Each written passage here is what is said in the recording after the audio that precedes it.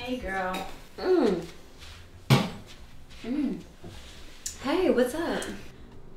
Girl, I can smell it. I can smell alcohol a mile away. I'm sorry. Girl, I had a rough day. I thought I could down a glass real quick. I told you, this is your house. If you want to have alcohol, that's fine. I'm okay. I know, I know. I just, I know what you've been through, and I don't want to be the reason that you lose your sobriety again. Yeah, well, 18 months, so I'm doing good. So finish your class. No, I can't. How was your day? Same old. Feet hurt. Had to take a hot shower because it was so cold outside. Oh, did you get your sale? No, the jerk decided to put off the decision until next year, but I think I can replace my revenue to make my numbers still, but it's still annoying. So Netflix night, you down? I can't until later. Lawrence is coming by to drop off my suitcase, so. And to keep it this time? I mean, for someone who keeps saying that they're cutting it off, you guys are sure spending a lot of time together. Yeah, I know. Well, hopefully after you and I go to homecoming next weekend, things change. I know I'm excited. Yeah, I can tell by all the bags in the living room. What is that? Just some small things, little stuff. Mm-hmm.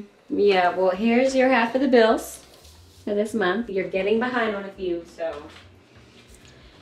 I got it. Okay, I got you. Don't worry about it. Oh.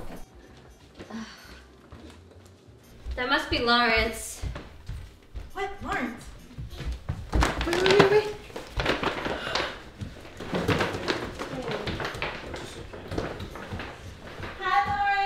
Lawrence.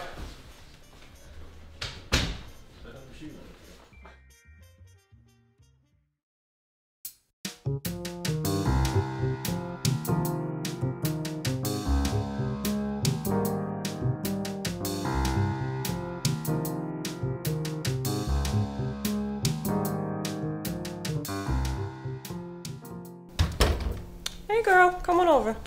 What? You can actually take me on time?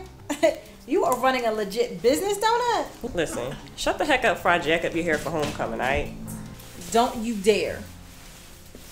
Plus, this is Zara's homecoming. Has Zara been in here yet? Not yet.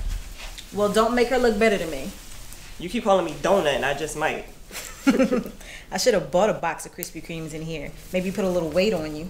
Listen, you got enough ass and tits for us both, Serena Williams. anyway, hopefully I'll meet some decent guys at this HBCU. You should. Better than the guys around here. Men are men. I just want to go on a couple of dinners where the cheap ass guy doesn't expect me to pay the tip. Well, speaking of tips, I hope you do realize that I stay open late for you. Hint, hint.